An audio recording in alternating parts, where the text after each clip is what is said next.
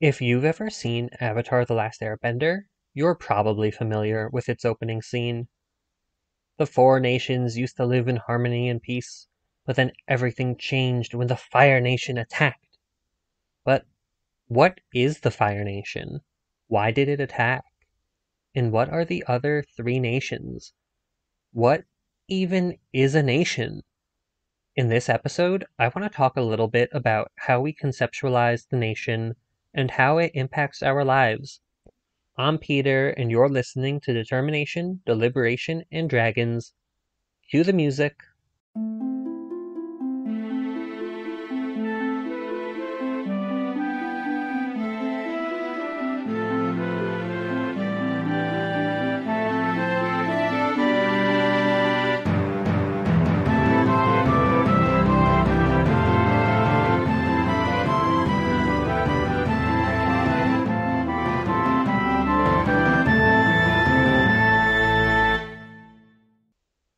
Before we dive into our discussion about Avatar, I want to briefly go over some key concepts about the nation.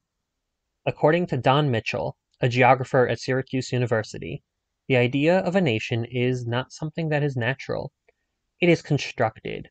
Mitchell explains that, quote, Nations are represented as spaces in which members of the nation have a strong bond with each other, a bond that trumps whatever differences of class, gender, or religion, for example, may divide people within the nation from another.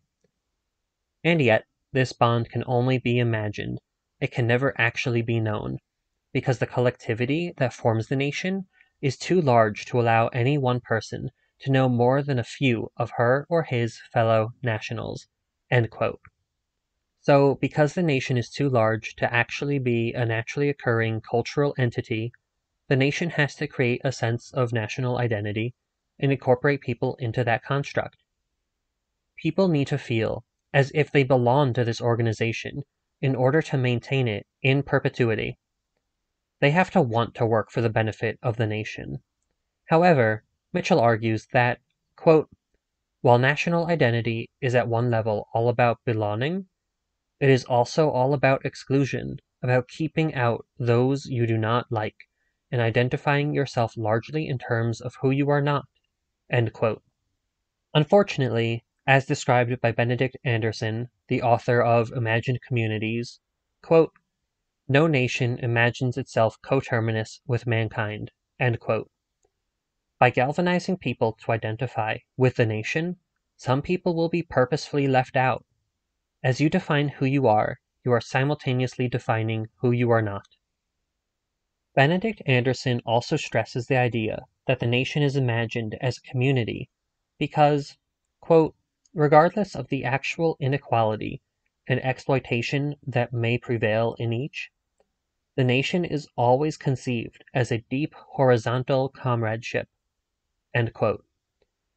While I don't think that idea plays out in practice, as evidenced by the 45th United States President who dodged the draft stole money from voters to be used for his legal fees, and staged a coup to take over the country, those in power certainly try to proliferate this notion throughout the population. We are told to believe that despite our differences, at the end of the day, we are all Americans. There are a number of ways in which this message is spread. The ways in which history is taught in schools is possibly one of the most important methods. My undergraduate thesis focused on aspects of the landscape, such as monuments and museums, and even the names of roads. All of these things are ways in which the population is told who they are. I won't get into it too much, but the idea that monuments are designed to teach history is false. According to sculptor Vinnie Bagwell, who I heard speak at a lecture at Vassar College, monuments, as well as memorials, are stories that are designed to tell the viewer who they are and who they are not. In this way, the population knows what the nation is. So, what can the Avatar universe teach us about the nation? Quite a lot, actually. We know from the opening sequence to each Last Airbender episode that there are four nations the Fire Nation, Water Tribes, Earth Kingdom, and Air Nomads. The different nations seem to be tied to the ability of some of their members to bend these four natural elements. For example, some people in the Earth Kingdom can bend or manipulate the Earth. Seems simple enough. But when we take a closer look at each individual nation, we see a lot of interesting patterns that fit into how Mitchell and Anderson think about the nation. Let's start by looking at the water tribes. We are told that there are four nations earth, fire, air, and water. But the water nation is actually split into two different tribes the northern water tribe and the southern water tribe. They are located at the northern and southern poles and are literally as geographically far apart from each other as they possibly could be. The entirety of the first season of The Last Airbender show shows Aang and his friends slowly making their way from the South Pole to the North. Though there's reason to think that the actual world is much smaller than the planet that we live on, it still takes a considerable amount of time to traverse the distance between the tribes. This geographical separation makes the political separation between the tribes believable. In order to effectively operate, each tribe would need their political institutions to be more focused on their respective regions, allowing each tribe to organize themselves in ways that make sense for them, rather than in a way that would make sense for a single nation. For example, each tribe has their own chief. There isn't a single ruler or government that oversees the affairs of both tribes. Even the culture of each tribe is different. Katara, a waterbender from the south, is pushed by her grandmother to become the best waterbender she can be, and is even encouraged to join Aang on his journey to save the world. But when she arrives at the Northern Water Tribe, she is told that women aren't allowed to learn combative bending forms. Rather, they can only be healers. The fact that Katara didn't even know that that was a part of Northern culture speaks to just how separated the two tribes are. It's difficult to know what goes on in places that are far from your home and the spaces that you occupy on a daily basis. In the legend of Korra, the distinctions between the tribes are pushed even further. Korra attends a festival in the south where the people have set up stalls with games and food, and there are even rides there.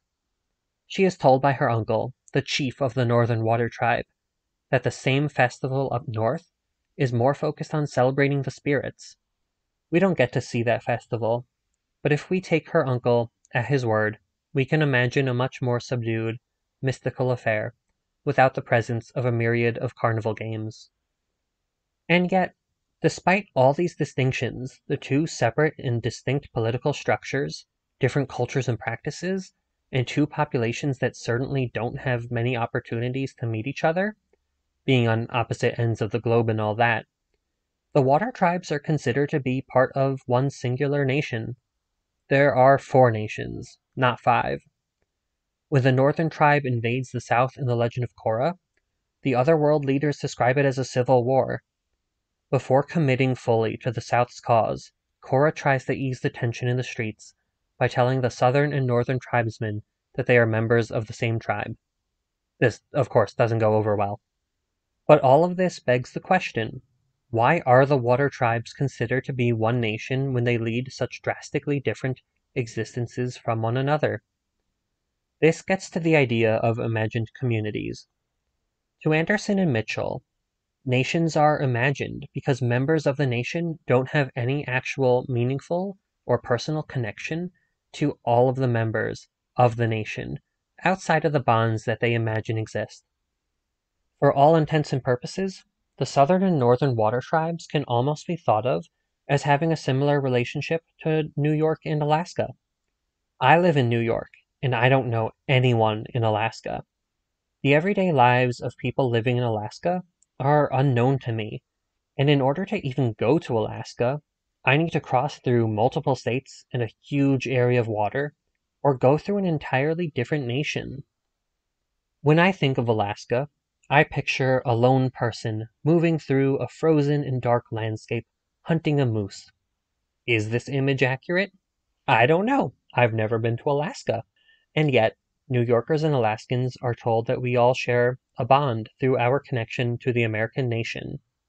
We are told that we are all Americans and that we share common values and histories, even though I have no recollection of learning Alaska's history in school. There are many cultural practices that are unique to each state. I don't participate in an Iditarod through the streets of New York City every year. But this logic can even be applied to communities within the same state. Long Island, New York is very different from Buffalo, New York. Being close to the ocean and spending time on the water is incredibly important to me. So much so that I grow uncomfortable when I spend time anywhere where I am not surrounded by water at all times. That isn't something that someone who grew up in Buffalo would necessarily relate to. My point is, the southern and northern water tribes are just as different from each other as New York and Alaska, as well as Long Island and Buffalo. But just like the places that I described, they are considered to be part of one nation. Korra tells the members of each tribe that they are part of one nation, even though neither the Southerners nor the Northerners feel as if they are. I think understanding the relationship between the water tribes and the nation is a little bit more complicated, but I think they also imagine themselves to be part of a nation through their ties to a larger idea, in this case, water.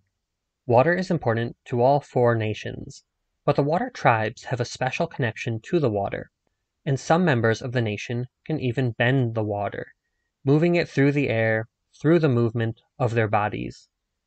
Based on the fact that water is literally in the name of the nation, I'm going to assume that it is their connection to water that has brought the water nation together.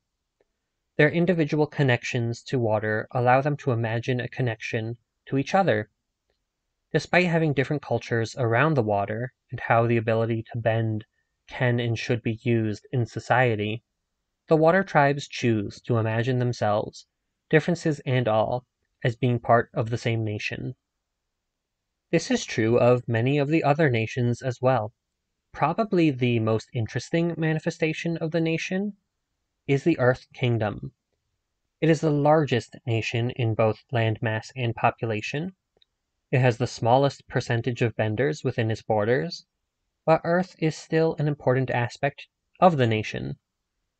There are a handful of examples of independent societies that all identify as being part of the Earth Kingdom, in part because of their connection to the Earth, though, as we'll see, that isn't the case for all of the communities that are part of the nation. There are a number of ways that demonstrate the imaginary nature of the entirety of the Earth Kingdom, for starters, we are introduced to two Earth Kings during The Last Airbender King Bumi, who rules over the city of Omashu, and the Earth King in Ba Se. The relationship between the two cities is unclear, but I interpret them as being somewhat independent. In effect, they are their own kingdoms. Similar to the Water Tribes, the entirety of the singular Earth nation exists because these two separate kingdoms imagine that it exists. By the time of the Legend of Korra, we begin to see the Earth Kingdom break down into smaller, more localized regions. The city of Zaofu, the home of the Metal Clan in the Legend of Korra, is the first place we see that really feels separate from the entirety of the Earth Kingdom.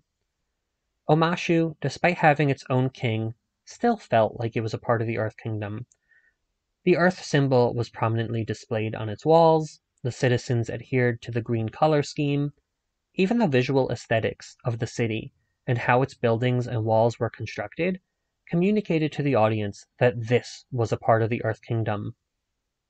Zaofu does not read as belonging to any larger organization outside of Zaofu. Aside from the visuals being different and the emphasis on metal rather than earth, Suyin Beifong, the daughter of Toph, tells us that she founded the city as a place for people like her to start over. It is a new place, apart from the Earth Kingdom. Indeed, Suyin detests the Earth Queen and suggests that she should step down and allow a new system of government to take her place. Omashu deliberately coded itself as part of the Earth Kingdom, embracing that imaginary community, but Zaofu cut itself off from it Those living in Zaofu define themselves as being part of the Metal Clan, and other earthbenders in other places don't fit in with them. The introduction of a new form of elemental bending creates a degree of separation between the Metal Clan and other earthbenders.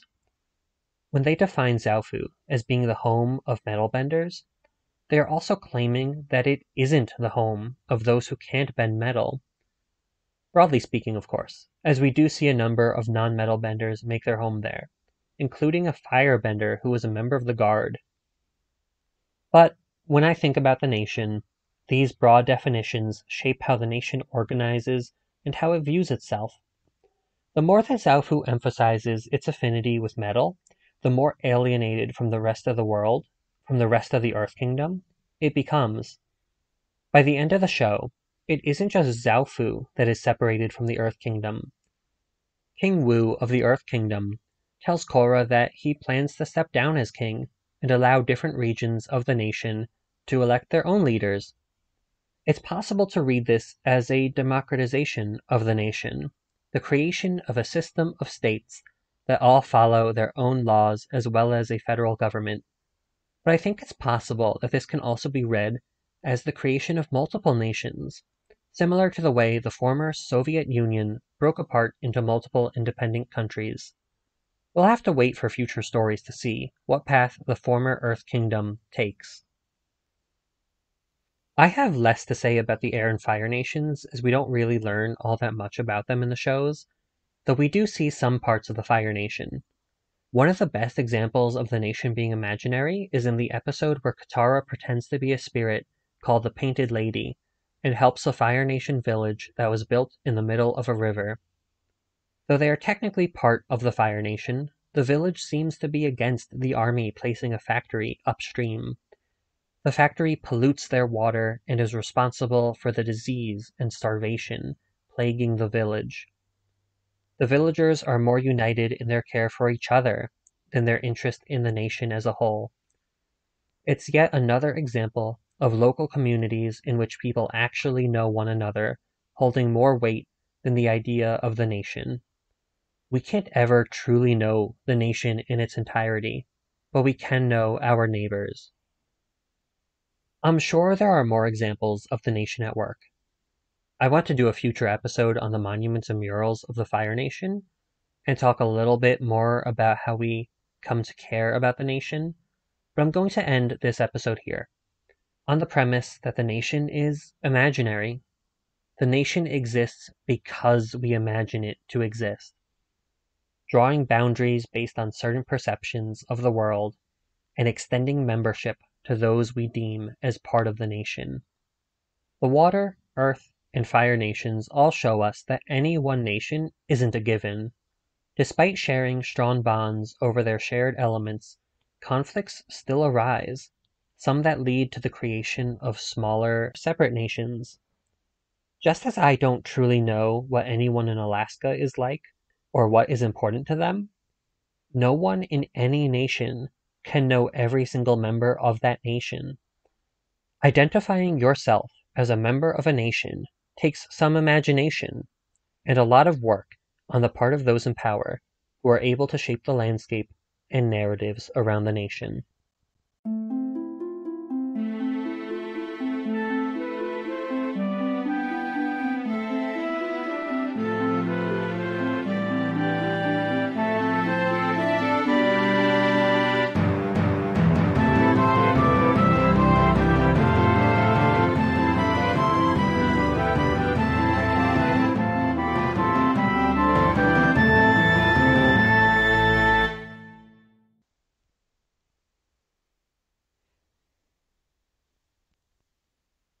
Creation of the nation is through imagination and deliberation and determination.